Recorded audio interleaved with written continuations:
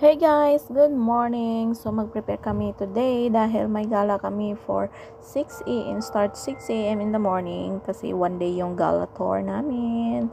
So ngayon nagpe-prepare muna ako kung ano ang gagawin ko sa buhok ko kasi tuyot na tuyot na siya. So ginagawa ko na lang ng ganun para hindi siya maging buhag-hag yung ko. So 5 4:30 naligo na kami para mag-prepare kasi yung calling time namin is 6 a.m. in the morning. So sabihin niyo, ang tagal naman. So tina-time lapse ko na nga yung recording ko kasi ang alam kong mahaba yung ni-record ko dyan. So, maglalagay tayo ng Johnson's Baby Oil sa buhok natin kasi tuyot na tuyot dito sa tawan at tuyot na tuyot pa rin ako. Kaya kailangan ko magbuhok, maglagay sa buhok ko ng oil para hindi siya magbuhag-hag free. So, ginawa mo niya yung lotion yung oil. So, sa susunod, maglalagay tayo ng sunscreen para hindi tayo mukhang matanda at guys, kailangan natin mag-sunscreen kung saan-saan tayo magala kasi ang sobrang init. Kahit hindi naman sobrang mainit ko, kailangan pa rin natin mag-sunscreen para to protect our skin forever young. so that video is we're preparing for our gala. So naglalagay na tayo ng sunscreen. Ang tagal mo naman eh. Tina-timelapse ko na nga to. Ang tagal eh. So, maglagay tayo ng maraming sunscreen para sa ating liig, sa ating mukha. Kasi, bawal ma-init. Kasi, ang init sa labas. So, bilisan niyo. Ay! Napagod na ako kaka, ano, nabubold pa ako dyan. Napagod na ako sa kaka-voice over. Ang tagal naman ng video na to. So, isuot natin yung pamulakasan natin na relo na made of secret. Hindi naman ako endorser kaya hindi ko sasabitin yung product ko anong relo ko. So, mag, ano pa yung inaano mo dahil. So, maglalagay na naman tayo ng foundation. So, ganyan lang yung, pag may gala ako, ganyan lang yun. So, ang inaano ng skin ko. Sunscreen, na very important. And then, lagay-lagay ng mga full uh, foundation. Para, hindi naman tayo mukhang haggard. Para magmukha naman tayong tao. So, minsan lang talaga kami. Since nag-pandemic, guys, ngayon lang kami nakagumala, nakagala ulit last ko gala part in North is 2019 or 2018. Nakalimutan ko na. And then, our making area, uh, our meeting area is, making naman noon eh. Our meeting area is in Family Mart. Habang kami naghihintay kami sa isa't isa, kasi dito yung meeting area namin.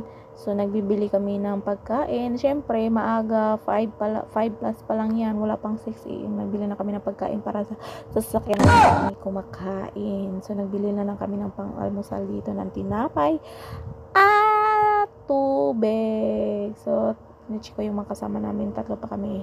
Ay, yung dalawa. Dumating na yung, oh, biglang magic. Biglang dumating yung dalawa.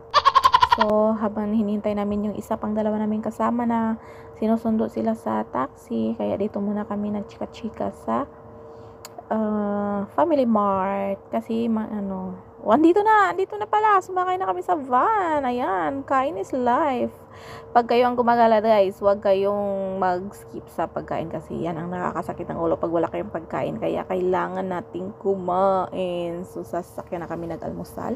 Kasi kailangan namin umalis ng maaga dahil yung time doon ng mga galaan is 10 a.m. in the morning. So, syempre, malayo pa yung Kaohsiung to Taichung, mga almost 2 hours. So, hindi naman masyadong malakas yung takbo ng van na sinakyan namin. Okay lang siya. O, oh, diba, pak? Parang naka, ano eh. Yan, saya ni Inday. O, sige, Day, sige. At ang tagal naman ito. Haba na. Hindi ko na maano kung ano pang i-voice over ko. Ang hirap pala mag-voice over. So, ayan. Kumakain kami sa, sa sasakyan habing nagdaldalan. Oy, dumating.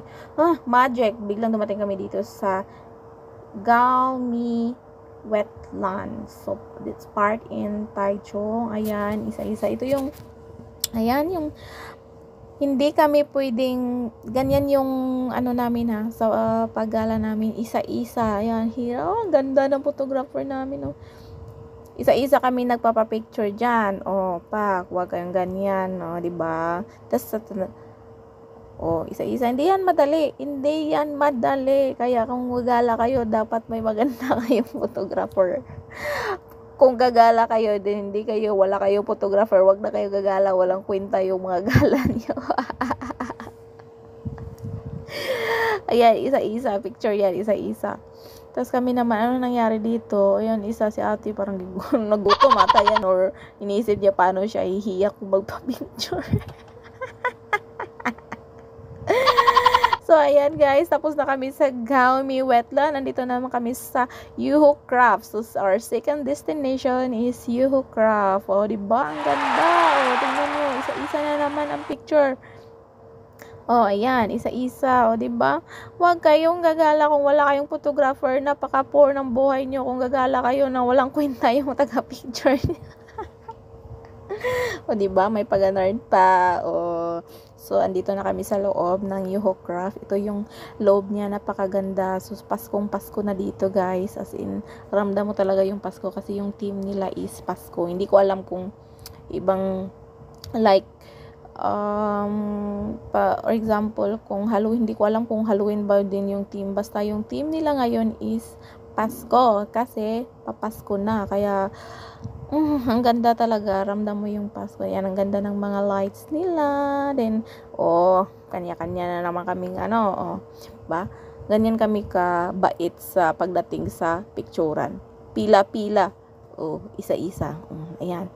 Dito, may chair. Kung gusto mong pangmayaman, dito ka sa gold chair. Oh, hindi naman kami yumaman magiging OFW, OFW as is yumaman kami dito this time.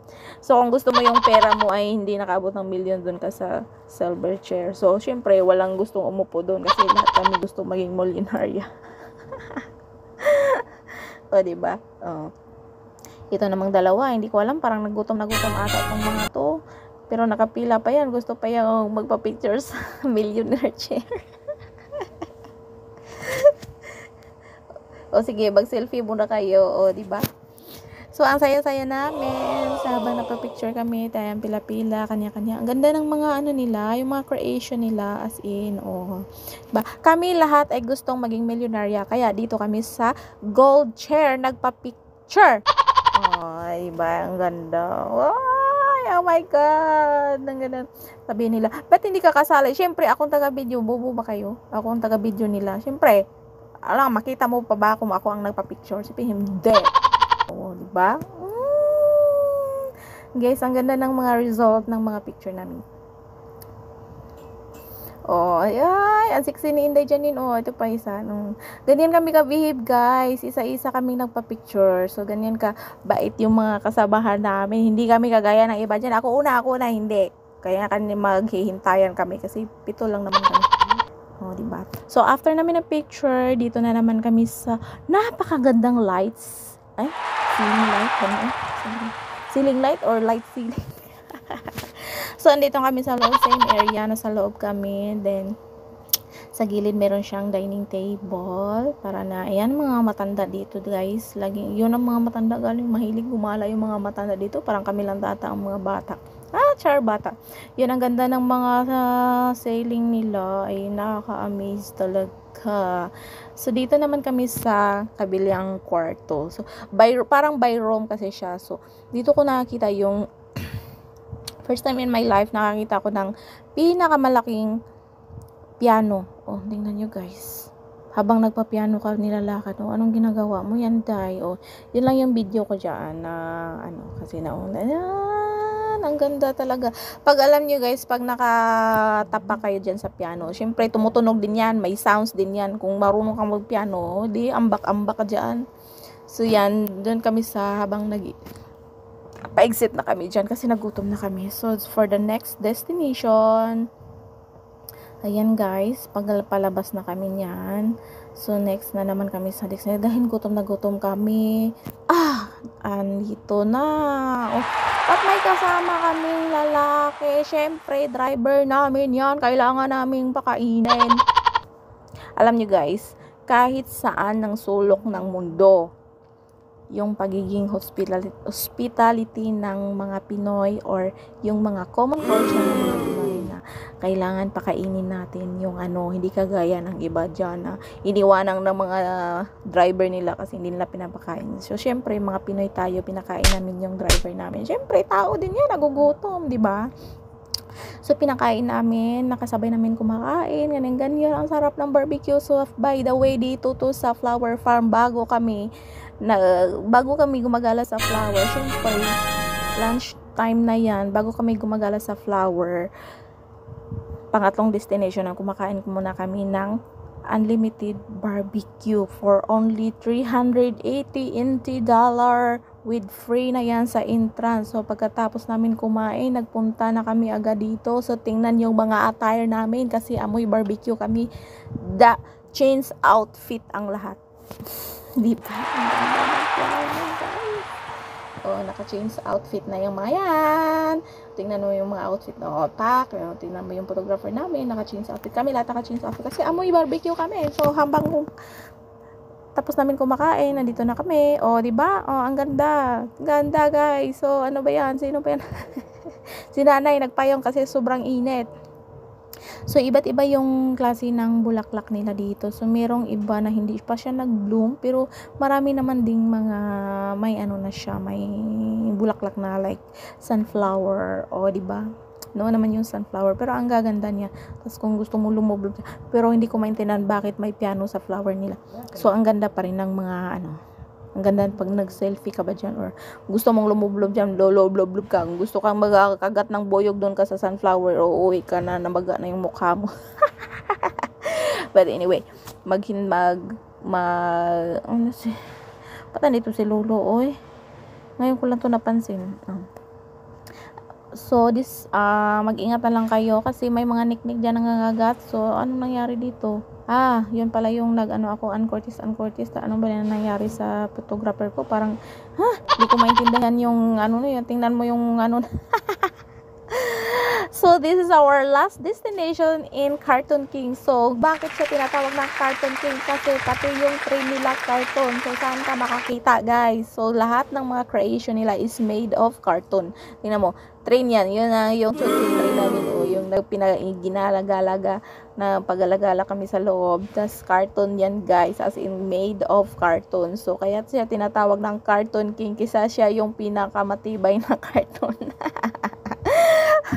First time in our life na nakasakay kami na made of cartoon na tree, no? Ang ganda sa loob. Yan, yung pinaka-enjoy moment namin. So, dyan, galing kami nag-coffee muna kami habang nagalagala. Kasi napaka-enjoy.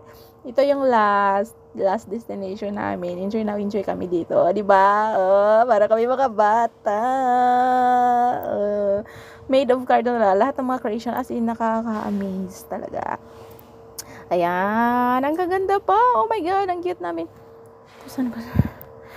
Napagod ako sa voice over. Parang pauwi na ata kami dito. Patapos na to. Yun lang, guys. oh, diba? Ang ganda. Oh, as in, ma na-amaze talaga kami sa cartoon yung sinasakyan namin